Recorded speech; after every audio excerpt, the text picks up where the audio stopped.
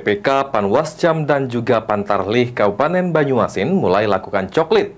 Pelaksanaan coklit perdana dilakukan di kediaman Bupati Banyuasin periode 2018-2023 Askolani.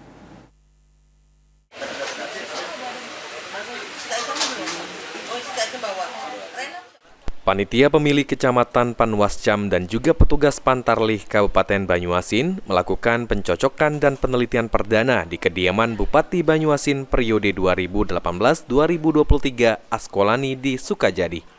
Dalam kesempatan tersebut, Askolani berharap agar masyarakat di Kabupaten Banyuasin dapat terdata dengan baik, sehingga dapat menggunakan hak suara pada pilkada dengan baik untuk kemajuan Kabupaten Banyuasin. Kita harapkan karena kita salah satu konsisten yang akan mengikuti pemilihan kepala daerah di periode 2025-2030 ini kita berharap dengan petugas yang melaksanakan pendataan di lapang, lapangan ini untuk mengerjakan dengan baik, dengan benar dan kita harapkan jangan ada satupun warga kita Banyuasin yang telah memenuhi syarat menurut undang-undang tidak terdata dan tidak terdaftar. Kita berharap dengan kegiatan ini semua warga Kabupaten Banyuasin khususnya yang ada di Talang Kelapa ini e, semua terdaftar dan bisa menggunakan hak pilihnya dalam menentukan pimpinan Kabupaten Banyuasin ke depan.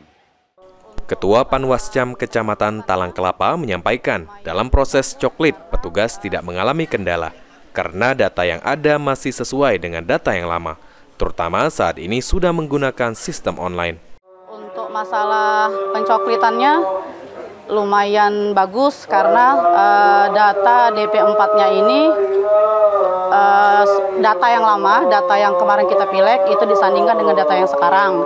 Terus juga selain itu juga eh, ini kan pakai online. Jadi uh, walaupun dia tidak terdata di DP4, kalau kita cek uh, DPT online-nya itu sudah terdaftar.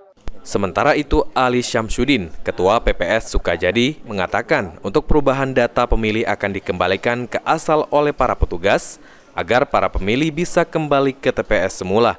Proses coklit ini akan dilaksanakan selama satu bulan. Ya, jadi ada dari TPS 6 ternyata terdata di TPS 22 dan insya Allah kami berusaha semaksimal mungkin data-data yang di luar TPS itu akan kami kembalikan ke asalnya. Alhamdulillah tidak ada yang menolak. Semuanya ikut berpartisipasi dalam pelaksanaan pilkada ini. Tim Liputan PAL TV